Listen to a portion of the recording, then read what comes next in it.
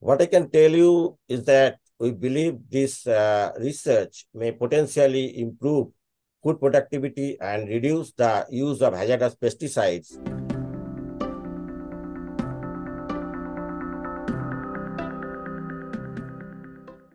Hello, I'm Caitlin DuPont from the American Chemical Society. Welcome to this media briefing from ACS Fall 2023. Aloe vera has been used for centuries to treat skin ailments and to promote digestive health and wound healing. But while aloe sap is in high demand, the peels are thrown away as agricultural waste. Now, scientists at the meeting report that these peels can act as a natural insecticide after identifying several bioactive compounds in extracts from the peels that deter insects from feasting on crops. We're joined today by Debasish Bandyopadhyay from the University of Texas Rio Grande Valley. Thank you for joining us. Thank you. What were you trying to find out?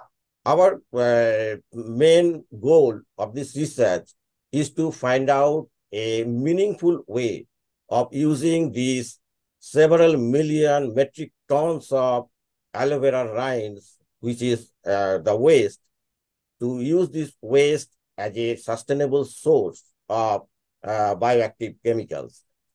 So uh, different type of chemicals may be present in the uh, mm, waste. So we are trying to find out the best possible way to recycle or repurpose this waste.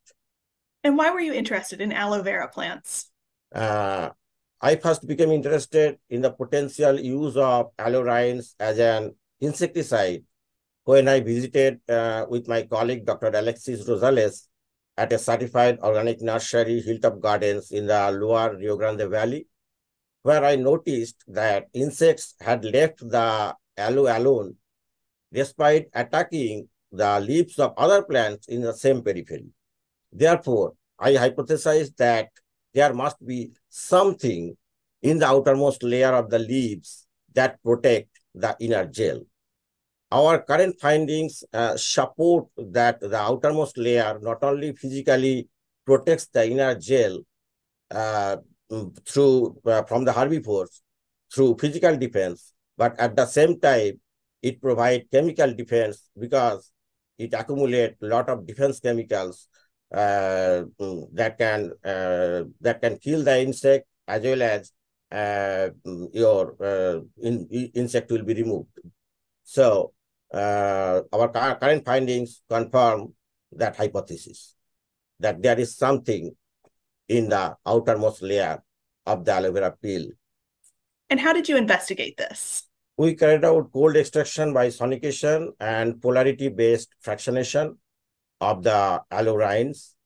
So what we did, first we washed the rinds thoroughly with water, and then we dried it, the sapling, and uh, like every day, once in a day, we sappled so that the drying will be uniform. And then we ground it to powder the powder was sonicated for 20, 21 hours. And then we filtered the uh, solution. We did the extraction uh, like from starting from hexane, we used dichloromethane, methanol, and water. So very non-polar to very polar solvent. So when the extraction was complete, it was filtered by Buchner flask, Buchner funnel, and flask. And then we uh, mm, uh, concentrated the extract under reduced pressure distillation and then saved it in minus 20 degree freezer. A portion of the extract we used for gravity column. The purpose of this was to uh, simplify the mixture from complex mixture to simple mixtures because you know that in a plant there are like several thousand compounds are present. And then the simple mixtures we used for flash, chromatography mass spectral analysis to isolate a few pure compounds. Another portion we used for HPLC ultra high definition accurate mass QTOF analysis to identify bioactive compounds, including insecticides.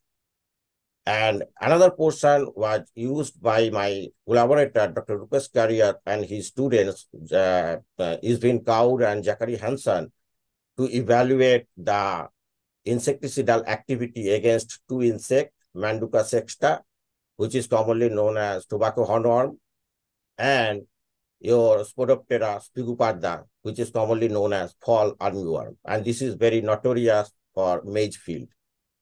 So after that, uh, and another portion we used, uh, currently this is under investigation to see the anti-tick and mosquitocidal activity of these extracts.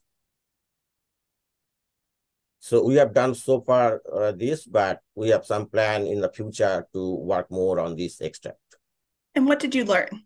Uh, one of the primary research foci of our research is to identify value-added chemicals in food, agricultural, and forestry waste.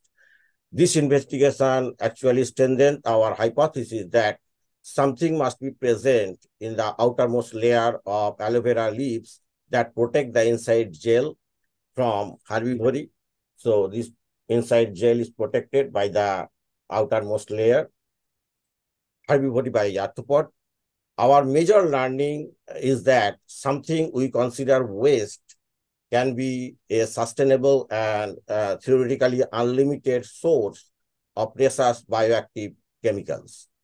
What is the significance of your research? The aloe peel-based insecticide can reduce human and animal exposure to potentially hazardous synthetic insecticides. It can also help in plant health and resilience by providing nutrients, salt, uh, soil additive, making plants more resistant to pests and diseases. In contrast to many synthetic pesticides that linger in the environment for a very long time, our natural pesticides, aloe peel-based pesticides, they are natural, so they can degrade very quickly. It may assist farmer producing various healthy year-round uh, your crops, essential for human health, and you know that crop-based applications are the largest and fastest, fastest growing end users of pesticides and herbicides in the United States. So aloe peel-based insecticide can be a milestone, especially in the agricultural uh, sector in the future. And what was the main takeaway of the study? Well, this is a very good question. Uh, first of all, let me put two information side by side.